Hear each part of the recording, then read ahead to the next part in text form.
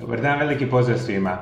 Moje ime je Mario, ja sam vlasnik Aure Centra za liječenje i rehabilitaciju iz Valpova u Hrvatskoj. Ono što ću vam u današnjoj temi pričati bit će e, Bakerova cista ili poplitealna cista e, i govorit ćemo o tome e, kako izgleda ova vrsta oboljenja, koji su glavni simptomi i na kraju krajeva koji su glavni uzroci upravo ove ciste.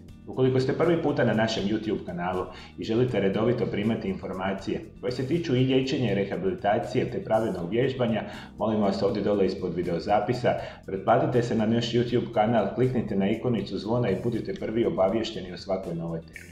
A današnja tema nam govori upravo o Bakerovoj cisti, odnosno jednoj oteklini koja je ispunjena e, tekućinom i koja se nalazi e, sa stražnje strane našega koljena. I upravo ova oteklina ispunjena tekućinom uzrokuje dakle određenu vrstu nakupina e, koja kasnije se pretvara u jednu manju ili veću, ajmo tako reći, kvržicu i koja na kraju krajeva dovodi do stezanja i do ograničavanja pokreta naravno u našem koljenu.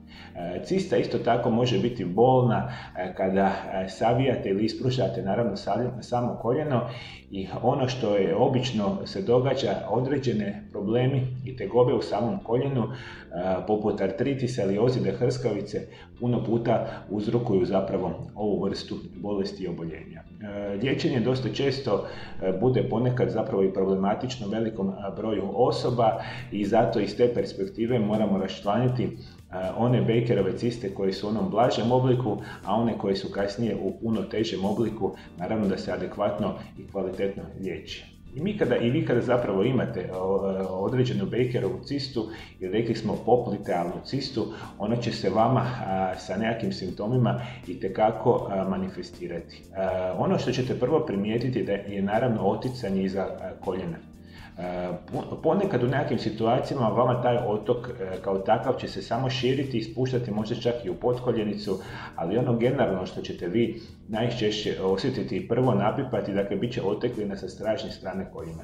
Drugo što ćete primijetiti je dakle osjećaj bolova, osjećaj e, stezanja, isto tako sa specijalno sa stražnje strane koljena i onda kada se ova bolest neadekvatno liječi, ona se samo, kažem, kontinuirano pogoršava u ovim svim simptomima i u smislu bolova i ukočenosti sa stražnje strane koljena. Dalje što ćete e, primijetiti da vaše koljeno jednostavno nećete moći saviti ili ispružati u punom obimu naravno njihovog e, mogućeg naravno pokreta i vama ćete naravno osjećati tu određenu nelagodu upravo sa stražnje strane koljena. Dakle, javit će vam se ukočenost i isto tako e, ograničeni e, opseg pokreta i oteklina, ono će se vama samo sa vremenom širiti i najčešće to bude sa potkoljenice i sa donje strane naravno samoga same noge i naravno sa stražnje strane noge. Ponekad se dogodi u onim težim situacijama da se čak imaju određene vrste modrica, a u onim najtežim situacijama vi čak možete doživjeti to e, da, da se vaša Bakerova cista pukne i onda se ona razlije na nekakve duge svih segmente našega naravno koljena. A to su naravno eksterne situacije koje se dakle e, jako rijetko događaju. U globalu imat ćete najčešće oteklinu, osjećaj ukočenosti, e, osjećaj naravno e, teške pokretljivosti i to na kraju krajeva se sve događa sa strašne strane našega koljena. A sad, ukoliko vi imate, e, naravno, e, Bakerovu cistu ili ovo poplitealnu cistu i želite ju naravno izliječiti na najbolji mogući način, kontaktirajte naš Aure centar ovdje iz Valpova, usko specijalizirano upravo liječimo ovakve vrste tegoba sa najmodernijim svjetskim metodama. Iz te perspektive dogovorite termine ili se savjetujte na ove brojeve telefona koje ću vam sad pokazati u Hrvatskoj, isto tako na ove brojeve telefona u inozemstvu.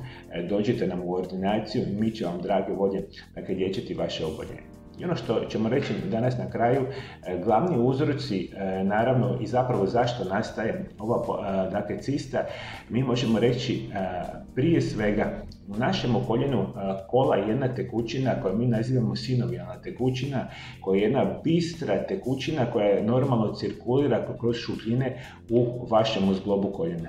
I ponekad upravo ova sinovijalna opna i sinovijalna tekućina proizvodi upravo previše te svoje konzistencije i sve veći pritisak prisiljava da tekućina izlazi upravo sa stražne strane našega koljena preko jednog, ajmo tako reći, ventila gdje se stvara upravo to ispupćenje ili oteklina. I ovo jako oticanje koljena naravno uzrokuje vašu Bakerovu cistu i ono što će vam se najčešće dogoditi, a prije svega toga, vi vjerojatno imate nekako već oštećenje, ozljedu koljena. Dakle, možete imati oštećenje meniskusa, dosta se često javlja kod osoba koji imaju artroze koljena ili recimo reumatorni artritis i ponekad dakle određene vrste upova vama mogu manifestirati upravo ovu tegobu vezanu naravno u samu Bakerovu cistu. I e, kažem, to je ponekad neugodno i dosta često oboljenje kod velikog broja osoba i vi kao takvi ne bi uopće smjeli trpiti vaše tegobe e, duže vremena jer oni, kažem, kasnije se jako pogoršavaju